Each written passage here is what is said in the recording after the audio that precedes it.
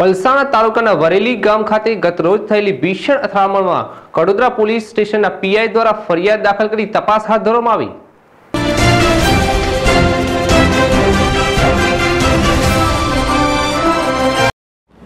પલસાણા તાલુકાના વરેલી ગામ ખાતે ગતરોજ હજારોની સંખ્યામાં પરપ્રાંતીય શ્રમિકો તોફાની બનતા સ્થિતિ ગંભીર બનવા પામી હતી.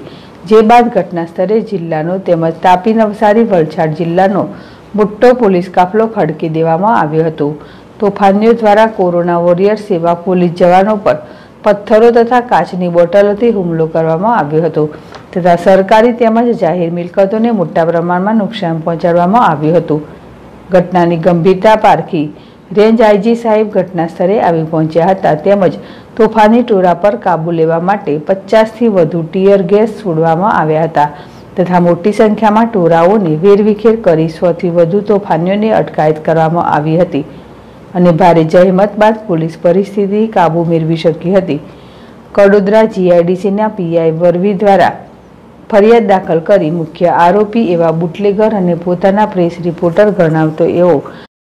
રવિ ઉર્ફે રવિકાંત સુનાસિંહ રાજપૂત તેના પત્ની જયાબેન રવિકાંત રાજપૂત તથા તેના સાગરીત એવા શૈલેષ રાજપૂત કિરણ અંકુશ ગુપ્તા, નાનજીભાઈ લખાભાઈ માકડિયા તેમજ એક હજાર જેટલા તોફાનીઓ સામે જાહેર મિલકતોને મોટા પ્રમાણમાં નુકસાન પહોંચાડવા બદલ અટકાયત કરી આગળની કાયદેસરની કાર્યવાહી હાથ ધરવામાં આવી.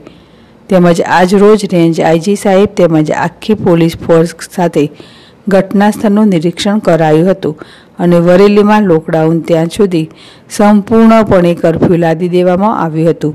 તેમજ જીવન જરૂરિયાતની વસ્તુ માટે ફક્ત મહિલાઓને જ ઘરની બહાર નીકળવા માટે પરમિશન આપી હતી.